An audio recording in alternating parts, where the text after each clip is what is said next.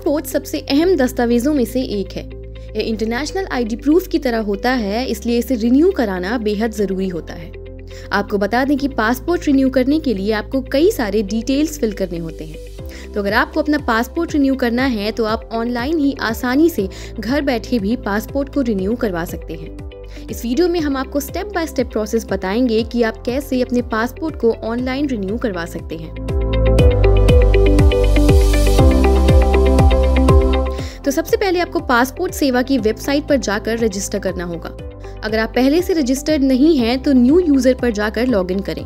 इसके बाद आप अपने घर के नज़दीकी पासपोर्ट ऑफ़िस को चुनें। जब आप अपने आप को रजिस्टर करने के लिए फॉर्म डिटेल भरेंगे तो एक लॉगिन आईडी और पासवर्ड जनरेट होगा। अब इसके बाद आपके रजिस्टर्ड ईमेल आईडी पर एक कंफर्मेशन मेल आएगा।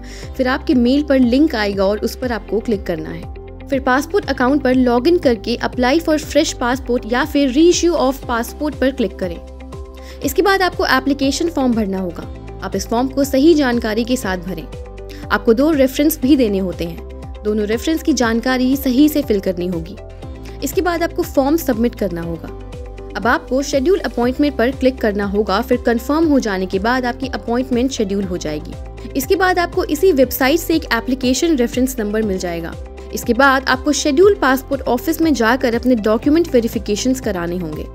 इन डॉक्यूमेंट्स के तहत आपको birth certificate address proof proof of nationality identity proof with photo original passport passport के पहले दो पेज की self attested photocopy self attested ECR की दो photocopy short validity passport की सेल्फ अटेस्टेड फ़ोटो कॉपी ले जानी होगी, जिसके बाद आपका पासपोर्ट रिन्यू हो जाएगा। तो ये थे कुछ आसान स्टेप्स जिनकी मदद से आप आसानी से घर बैठे अपने पासपोर्ट को रिन्यू करवा सकते हैं। वेल अगर आपको ये वीडियो अच्छी लगी हो तो इसे लाइक करें और ऐसे और भी वीडियोस के लिए हमारे चैनल इंडिया डॉट कॉम को सब्सक्राइब करना ना भूलें।